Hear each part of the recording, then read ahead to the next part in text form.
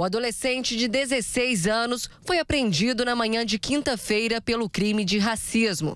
Segundo a polícia, no aparelho celular do menor foram encontrados vários indícios de participação em grupos que planejam massacres a escolas, além de apoio a ações e doutrina nazista. Ainda estavam em um caderno anotações e desenhos feitos à mão com dizeres e símbolos que enaltecem o nazismo. De acordo com a delegada, o jovem não nega apoiar grupos radicais. Em sua oitiva, o adolescente disse categoricamente que era simpatizante do nazismo e que, inclusive, a raça branca era uma raça superior e que ele considerava os negros muito privilegiados e que ele não entendia por que as pessoas não compreendiam a verdadeira ideia do nazismo. A delegada da DEPAI, que é a Delegacia de Apuração de Atos Infracionais, pediu a internação imediata do adolescente.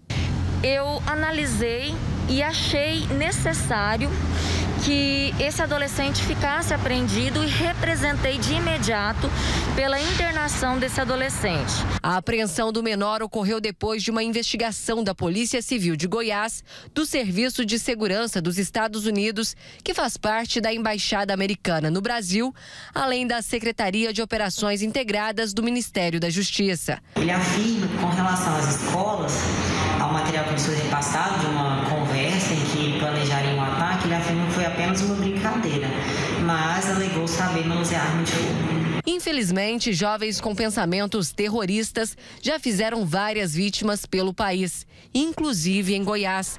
Em outubro de 2017, um estudante de 14 anos entrou na escola que estudava portando uma arma de fogo. Ele atirou contra os colegas. Dois adolescentes morreram e quatro ficaram feridos. Uma das jovens ficou paraplégica. João Pedro Calembo foi uma das vítimas que perderam a vida no atentado. Nós revivemos ontem o sentimento que tivemos naquele dia que perdemos nosso filho na tragédia do Colégio Goiás. Nós estamos é, apreensivos, mas principalmente aliviados porque a polícia conseguiu frustrar mais esse atentado. Infelizmente, nós não fomos a única família atingida e isso vem acontecendo cada vez mais.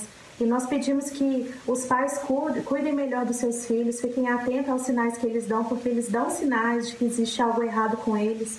Fiquem atentos aos seus materiais. No mesmo ano, um jovem entrou em uma escola de Alexânia, em torno do Distrito Federal. Atirou e matou uma aluna com um revólver calibre 32. Ele descarregou a arma na vítima. Para esse psicólogo forense, ninguém tem pensamentos terroristas do dia para a noite. E vários fatores podem contribuir para que jovens se interessem por esse tipo de crime. Geralmente são jovens que dentro do seio familiar não é dada oportunidade para eles para poder expressar as suas frustrações e a partir disso poder resolver. A falta de comunicação, a falta de reconhecimento de suas emoções, a dificuldade de diálogo acaba sendo gatilhos que levam eles a poder encontrar nesses atos uma forma de serem reconhecidos.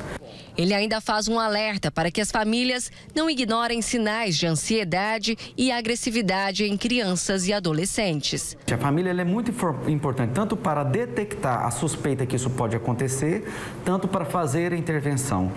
Então, não levar como, por exemplo, comportamentos agressivos ou isolamento social desse jovem dentro de casa como algo normal, como algo que fosse da fase.